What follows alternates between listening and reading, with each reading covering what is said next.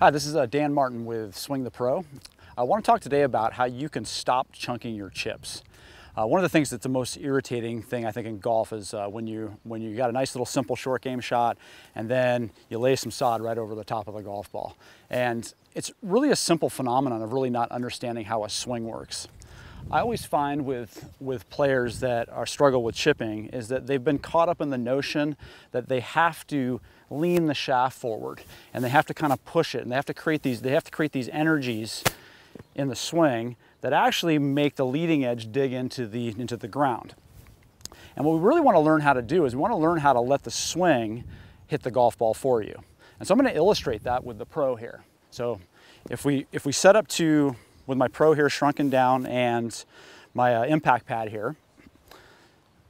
Our swinging motion is basically about running momentum into an impact point.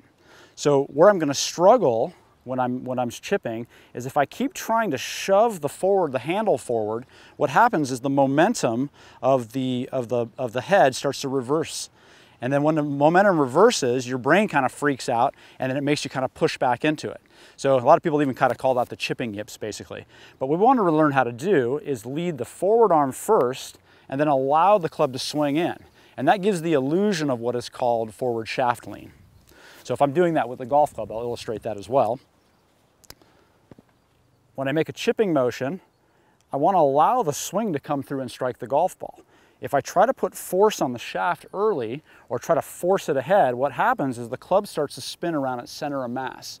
And that's, and that's what makes our brains kind of freak out. And then we grab it really fast and then put a chipping motion uh, uh or a shoving motion into it.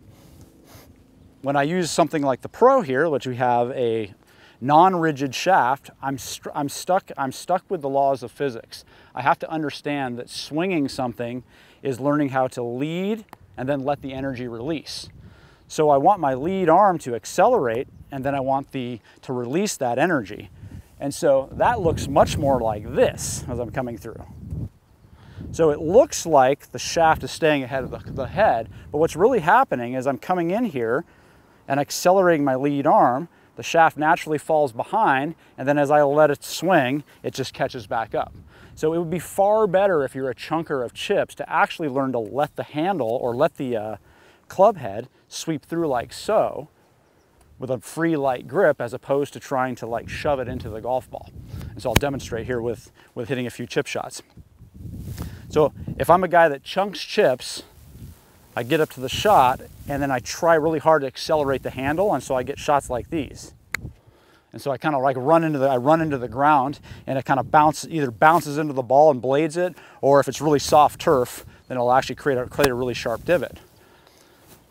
But if I learn how to let the swing hit the ball, and then the bounce of the golf club will actually work pretty naturally for me, I actually feel the club head as my arm begins to slow down actually pass slightly past my hands.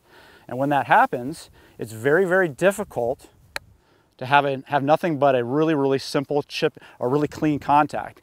And you'll know you're really doing this well as you'll actually see a little bit of action on the ball, especially off firmer lies. So in review, if you're chunking your chips, your biggest problem is you're trying to force forward shaft lean instead of allowing the swinging energy to work for you. So if you pick yourself up a pro today you, and practice this wrecking ball drill, as I call it, because it's just like the crane dragging your wrecking ball, you can learn how the physics of the swing work. And once you start to learn how to apply that to your short game shots and your chip shots, you're gonna learn how to hit those really solid, crisp shots that have a lot of spin.